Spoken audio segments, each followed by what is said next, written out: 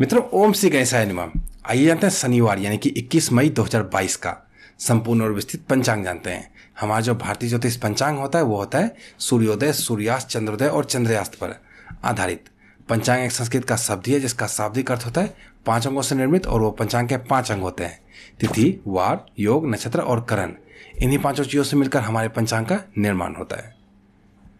किसी भी शुभ कार्य को करने के लिए हमें ज़रूरत पड़ती है सही मुहूर्त, सही समय और सही नक्षत्र की। और इन्हीं सभी चीज़ों की संपूर्ण और सटीक जानकारी हम आपको इस वीडियो के माध्यम देने वाले हैं, जो कि शनिवार 21 मई 2022 के लिए है। तो वीडियो में हमारे साथ अंत तक बने रहिए, ताकि आपको संपूर्ण पंचांग की जानकारी हो पाए।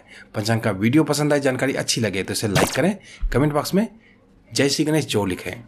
मित्रों, आज का संपूर्ण पंचांग आपको बताना आरंभ करूँ। उससे पहले आइए हम सभी मिलकर एक बार शुभकामनाएँ दें उन लोगों को, जिनका जन्मदिन है।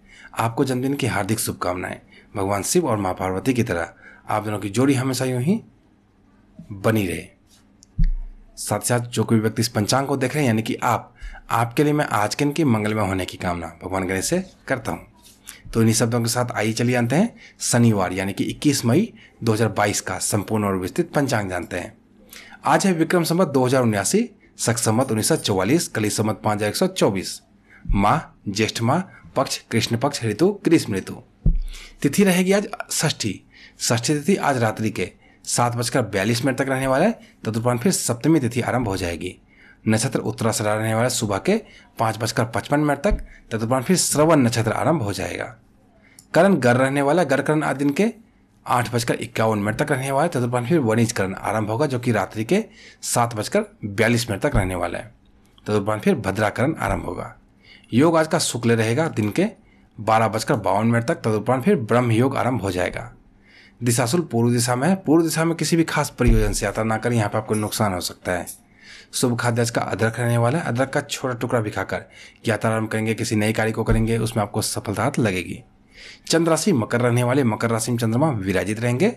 व्रत त्योहार में ऐसा कुछ नहीं है, लेकिन सर्वार्थ सिद्ध योग आज रहने वाला है अहोरात्रि तक, यानी कि पूरे दिन और रात्रि में भी। सूर्य राशि की बात करें, सूर्य वेश में, कृतिका नक्षत्र में और सौरमा ज्येष्ठ चल रहा है अभी। सूर्योदय और चंद्रोदय पर नज़र डालें तो सूर्योदय होगा सुबह के पाँच बजकर सत्ताईस मिनट पर।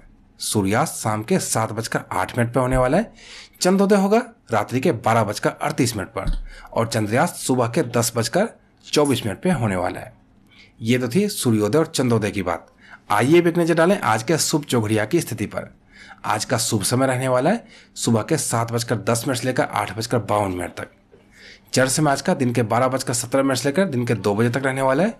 लाभ समय आज का, दिन के दो बजे से लेकर तीन बजकर तैंतालीस मिनट तक रहने वाला है। और आज का अमृत समय दिन के तीन बजकर तैंतालीस मिनट से लेकर शाम के पाँच बजकर पच्चीस मिनट तक रहने वाला है। ये तो थी आज की शुभ चौकड़िया आइए भी एक नज़र डालें आज के राहु काल और गुलिक काल की स्थिति पर। आज का राहु काल रहने वाला है सुबह के बावन मिनट से लेकर दस बजकर पैंतीस मिनट तक। राहु काल एक अशुभ समय होता है। इसमें कोई भी नया कार्य करने से बिल्कुल बचना चाहिए। इसमें आपको असफलता लग सकती है। गुलिक काल एक शुभ मुहूर्त होता है। ये वाला सुबह के पाँच बजकर सत्ताईस मिनट से लेकर सात बजकर दस मिनट तक। इस समय में कोई भी नया कार्य आरंभ करेंगे तो उसमें आपको सफलता लगेगी। अभिजीत मुहूर्त भी एक शुभ मुहूर्त होता है ये वाले दिन के ग्यारह बजकर पचास मिनट से लेकर बारह बजकर पैंतालीस मिनट तक।